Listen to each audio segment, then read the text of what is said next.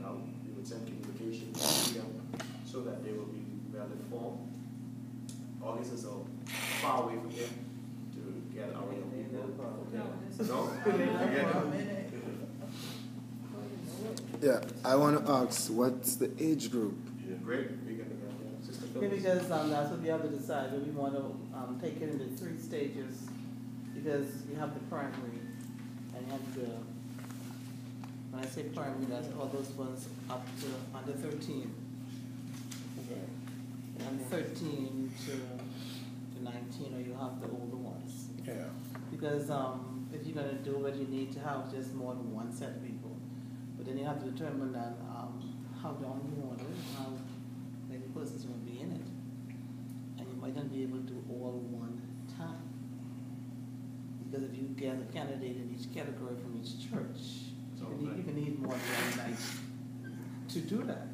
Because even if you give them, um, the two or the five minutes, you still have to hear them and you still have to critique them. And so, and you don't want to rush it. So that we could determine how we want to do it, whether you want to start off with the, just the primary, the junior, we want to have somebody that does in it as well. Thirteen and nineteen is good. I mean, I don't know.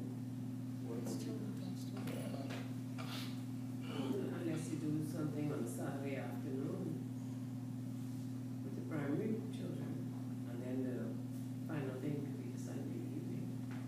Because you really don't want to, um, have persons feel left out.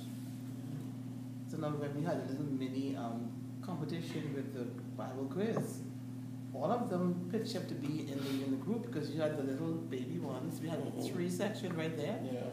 the college age, and, and they're all for their eager answering questions, waiting, looking for their prizes. But people like to get in, you know, like to get involved in and so we have to determine, um, whether we want to use all three of them and when. Like she's saying, if it's gonna be like when you have the teen talent on a Saturday night, Saturday afternoon. And then you probably have your finalists,